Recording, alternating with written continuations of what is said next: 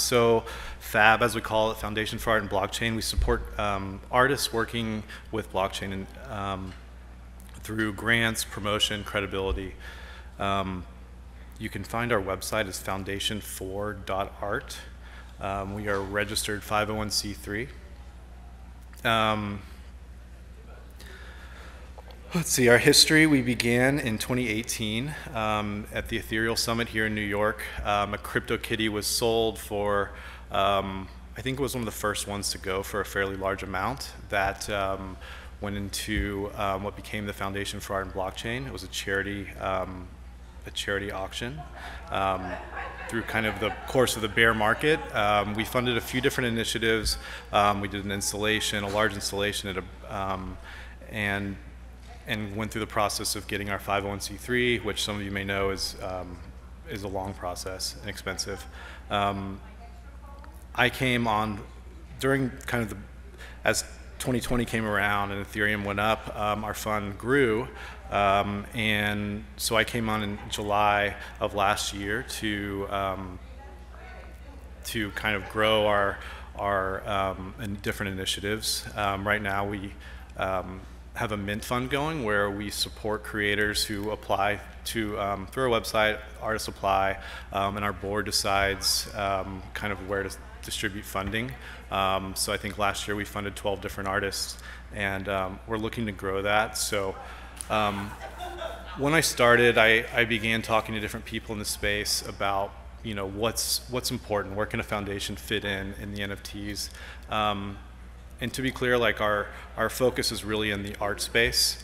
Um, and so I spoke to a number of different academics that were doing a lot of writing, and um, it became clear that there is a shortage of like art historical type um, good writing that the traditional art world expects um, but there's not a lot of it within the NFT space. And so um, one of our initiatives we're calling curatorial audits, where um, kind of bringing a, like a museological perspective to um, different NFT projects. Um, we also have a, our Mint Fund, which I mentioned, where um, we're funding different artists and we're creating a DAO, um, whereas right now myself and our board decide where funding goes. We want to, it doesn't feel very Web3, so um, we're democratizing that decision making process while raising more funding at the same time. Um, we've spoken to a number of, of, kind of established artists in the space. Um, so along with Art Blocks engine, we're, we're um, dropping a generative um, a generative series um, by the artist ippsketch, who has been featured in Art Blocks curated. Um, half of the funding will go into a DAO treasury where holders will be able to sponsor artists and decide um, where funding goes. Um, as a 501c3, those are um, tax deductible um, donations where you get a generative piece as well. and yeah, so that's what we're most excited about we do. We've, we're working with a, um, a company in the space that does artist residencies, so we plan to kind of funnel in um, artists that come through us into um, different residency opportunities, um, number of different ways of funding um, artists. Um, an interesting part of our of our drop is that your donation amount um, is actually one of the inputs into the algorithm that that affects the output. So a higher donation amount might have different attributes. Um, it's just color based, um, as this is like abstract generative art. Um, we're interested in education, um, so we've been working with some different um, like K through 12 art teachers on getting a curriculum going. Um, we have a couple other like you know large large companies in space that are also interested in helping us with that. Um, and then we'll do purchases and commissions as well to um, on kind of the re revenue generating side to uh, keep the DAO going. Um, but anyway, uh, any questions?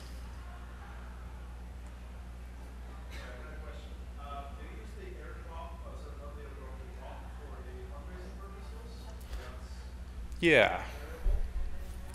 It is charitable, yes, exactly. Um, where Yeah, so we're splitting proceeds with the artist, um, where funding will go into a treasury where um, holders will be able to sponsor artists and um, you know offer ini- initiatives. Right now, there's just a few of us that decide on what to do, um, so we want to broaden our community um, and kind of like funding art through the sale of art. Is the idea? Yes. Is all your art generative art, or do you also do PFPs as well? Um, we haven't. Um, we actually we have. We've we funded two different PFP projects, um, but we've funded musicians, photographers. Um, so while we're interested in generative art and we have a nice relationship with Art Blocks um, right now, that um, we're very open um, to different mediums. Yeah. Yes. Um, education in like minting and selling. Yeah. Um, so like, um, I was at NFTLA a few weeks ago and have been, been speaking with an, um, an LAUSD art teacher. Um, and she's already been working on a curriculum, so I think we're going to help her fund that. And, um, and um, you know, it's still very early, but um, the idea is to build curriculums around you know, teaching kids how to mint and sell on marketplaces and use a wallet.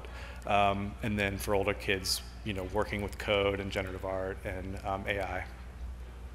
Yeah. Yeah. Yep. So foundation4.art um, is our URL. Also fabdao.art, where we'll be having our sale um, in about a month um, using Art Blocks. And um, yeah. Thank you all.